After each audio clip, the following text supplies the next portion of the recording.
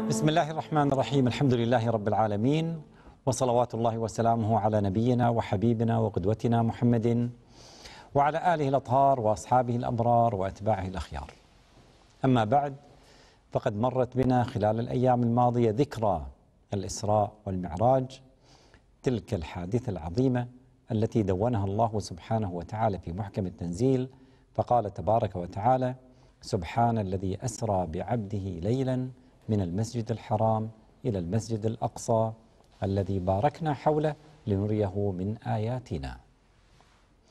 هكذا دونها الله سبحانه وتعالى. سبحانه هذا التسبيح.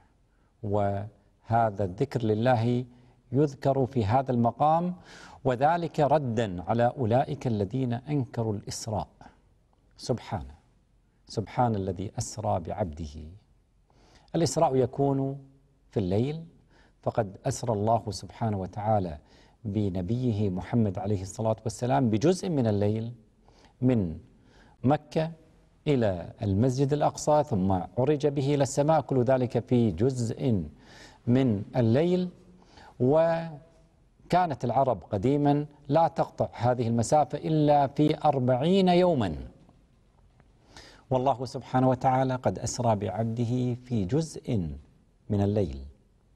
سبحان الذي أسرى بعبده ليلا من المسجد الحرام.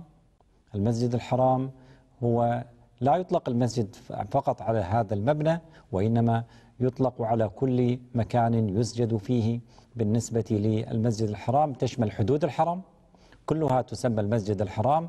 فقد كان المسجد في السابق ليس مبنيا وإنما مجرد الكعبة ومع ذلك سماه الله سبحانه وتعالى المسجد الحرام. إلى المسجد الأقصى. المسجد الأقصى وهو المسجد المعلوم الذي له مكانته وهذا الإسراء كان بدابة وهي البراق. هذه الدابة هي أكبر من الحمار وأصغر من البغل لها جناحان وبالنسبة ليديها تقع عند طرف البصر عند مد البصر وذلك من سرعتها. ثم بعد ذلك لما وصل النبي عليه الصلاة والسلام إلى المسجد الأقصى صلى بالأنبياء. وصلاته صلوات الله وسلامه عليه بيان بأن النبي عليه الصلاة والسلام هو خاتم الأنبياء. فليس هناك نبي وليست هناك رسالة بعد هذه الرسالة. رسالة النبي محمد عليه الصلاة والسلام. صلى بهم وكذلك عرض على النبي عليه الصلاة والسلام الخمر واللبن اللبن الذي هو الحليب. فاختار النبي عليه الصلاة والسلام اللبن. فقيل له لو اخترت الخمر لغويت وغوت أمتك. واختار النبي عليه الصلاة والسلام قيل له اخترت الفطرة. يتلائم مع فطرة الإنسان. هذا هو الإسراء ثم بعد ذلك المعراج. الإسراء لماذا الإسراء؟ لأن فيه بيان هذه المعجزة. ولما عاد النبي عليه الصلاة والسلام وأخبرهم بالإسراء فاختبروا النبي عليه الصلاة والسلام ماذا رأى وماذا رأى في الطريق. فأخبرهم بما رآه وفي ذلك الإعجاز. والله عز وجل قادر على أن يعرج به من مكة. ولكن وقع الإسراء حتى تتحقق هذه المعجزة ويتأكد أولئك الذين هم على تشكك بهذا الدين بأنه من عند الله سبحانه وتعالى. ثم بعد ذلك عرج به إلى السماء. إذا هناك الإسراء وهناك المعراج. المعراج من المسجد الأقصى عرج بالنبي عليه الصلاة والسلام إلى السماء وأول سماء فتحت له هي السماء الأولى وفيها أبونا آدم عليه السلام لما قيل له بأنه محمد عليه الصلاة والسلام فرحب به وقال له أهلا بالولد الصالح والعبد الصالح. ثم بعد ذلك أري النبي عليه الصلاة والسلام ما يكون من تصوير لعقوبة من وقع في معاصٍ في هذه الحياة. فالنبي عليه الصلاة والسلام مر على قوم بطونهم كالبيوت ويداس عليهم من آل فرعون. فقال النبي عليه الصلاة والسلام من هؤلاء يا جبريل؟ فقال جبريل عليه السلام إن هؤلاء الذين يأكلون أموال الربا فهؤلاء يعذبون هكذا. ثم بعد ذلك سار النبي عليه الصلاة والسلام فوجد أناس لهم مشافر وهذه المشافر كمشافر الإبل وهي الغليظة يأكلون حجارة من نار وتخرج من أسفلهم.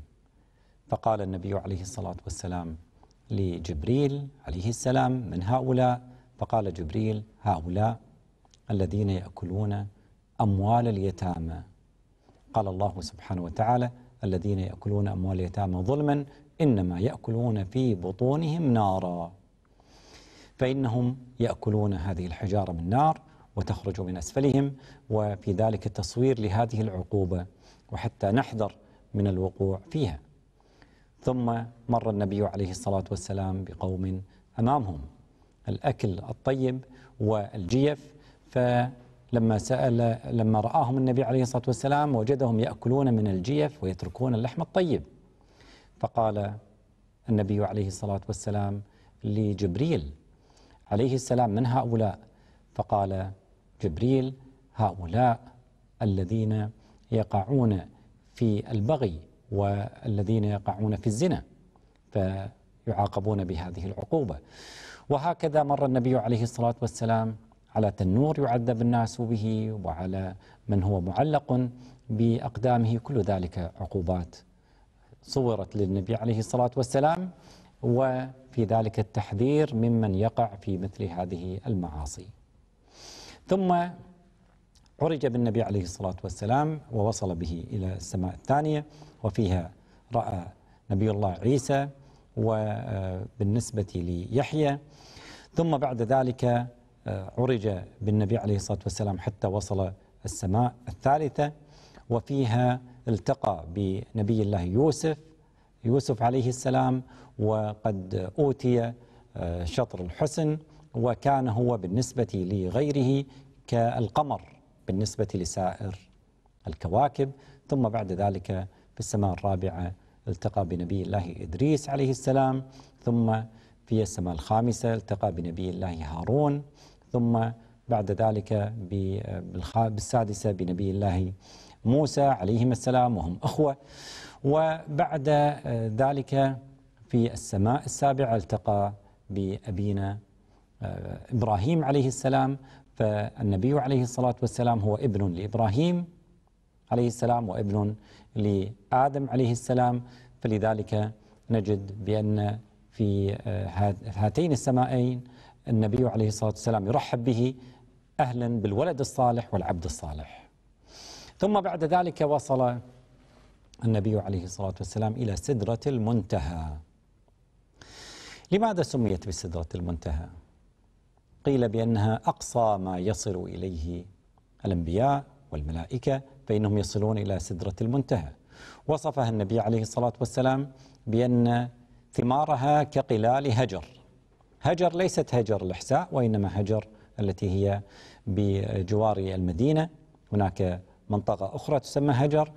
وبالنسبة لأوراقها صورها النبي عليه الصلاة والسلام وأن حجمها كآذان الفيلة ويغشاها من الألوان ما يغشى ثم بعد ذلك فرضت الصلاة.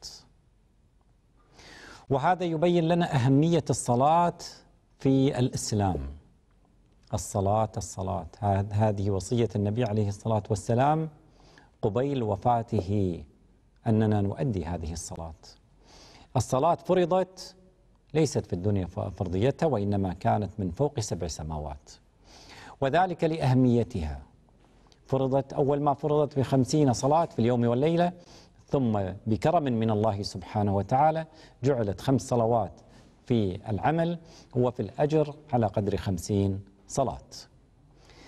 النبي عليه الصلاة والسلام لما نزل وعاد مرة أخرى إلى مكة قبيل الفجر وصلى جبريل عليه السلام بالنبي عليه الصلاة والسلام الفجر والظهر والعصر والمغرب والعشاء وبذلك تعلم النبي عليه الصلاة والسلام كيفية هذه الصلاة وبالنسبة كذلك لأوقاتها وفرضت هذه الصلاة بهذه الحادثة العظيمة التي وقعت للنبي عليه الصلاة والسلام.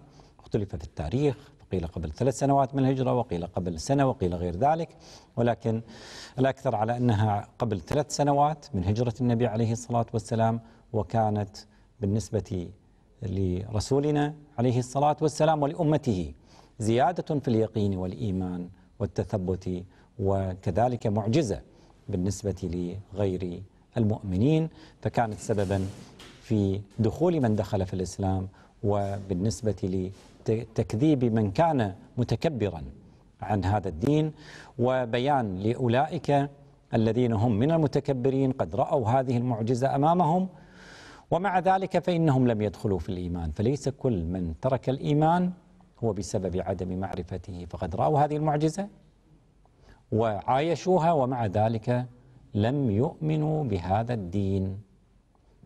يعني ذلك بأن هناك من هو متكبر مهما يرى من الآيات والمعجزات الباهرات فإنه يترك هذا الدين العظيم. هناك كثير من الجوانب يمكن نستفيدها في حادثة الإسراء والمعراج. منها هذه المعجزة التي تحققت للنبي عليه الصلاة والسلام التي تثبت وتزيد من إيمان المؤمن. وكذلك كيف كان النبي عليه الصلاة والسلام يكذب من متكبرين؟ يرون المعجزات وتكون أمامهم ومع ذلك فإنهم يتركون هذا الدين العظيم. وكذا بالنسبة لمعرفتنا بأن النبي عليه الصلاة والسلام هو خاتم الأنبياء وأن الأنبياء بالنسبة لنا لا نفرق بين أحد من رسله وبالنسبة للأنبياء فإنهم كانوا في الصلاة تبعا للنبي عليه الصلاة والسلام فهم من مشكاة واحدة.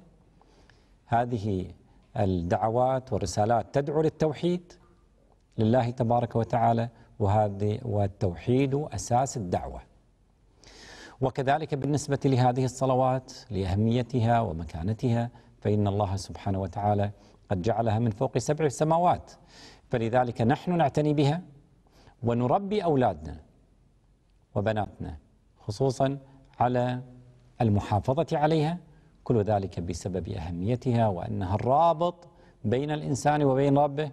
فلا بد أن نعتني بها وأن نحذر من التكاسل من أدائها وكذلك أننا نؤديها على النحو الذي أراده الله سبحانه وتعالى ففي الإسراء والمعراج إشارة إلى أهميتها وإشارة إلى مكانتها في ديننا الإسلامي.